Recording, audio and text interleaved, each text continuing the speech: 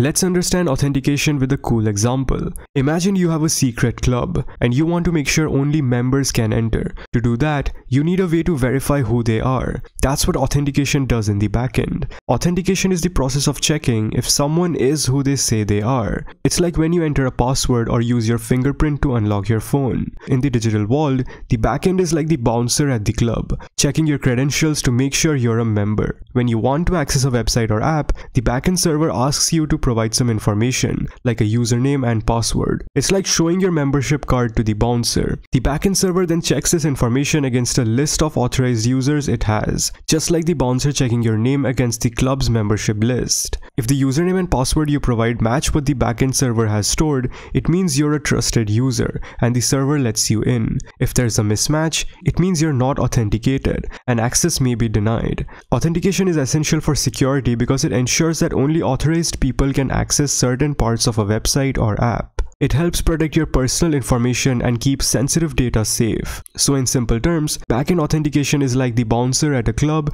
checking your membership card to make sure you're allowed to enter. It's the backend server verifying your credentials to make sure you're a trusted user before granting you access to a website or app. Now continuing with the bouncer example, let's understand authorization. So once you have passed the authentication and proved that you're a member of the club, authorization comes into play. Authorization is like getting a special stamp on your hand that determines what you're allowed to do inside the club. It sets the boundaries and permissions for your access. In the digital world, authorization is the process of determining what actions or parts of a website or app you're allowed to access after you have been authenticated.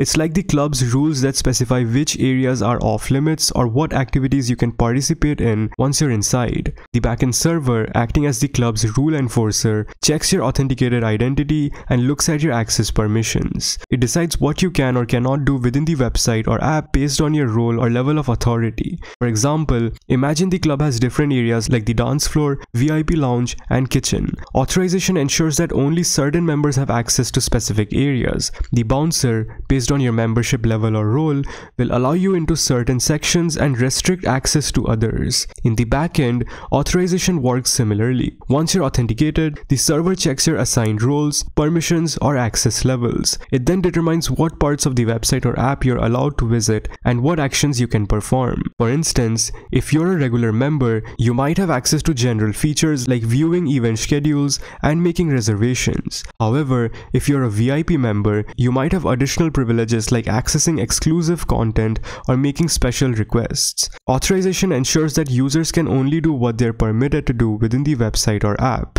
It helps protect sensitive data and resources by restricting access to authorized individuals. In simple terms, authorization in the backend is like the bouncer giving you a special stamp or access level after you have proven your identity. It determines which areas or actions you're allowed to access within a website or app based on your role or permissions. Now on a side note, there are various authentication methods you can use in your application, such as username and password, token-based authentication, single sign-on, multi-factor authentication, authentication, and more. I will certainly make a video explaining these different types of authentication methods in the future, so stay tuned for that. So that's all for the video. If you found it insightful, don't forget to like and subscribe and stay tuned for more.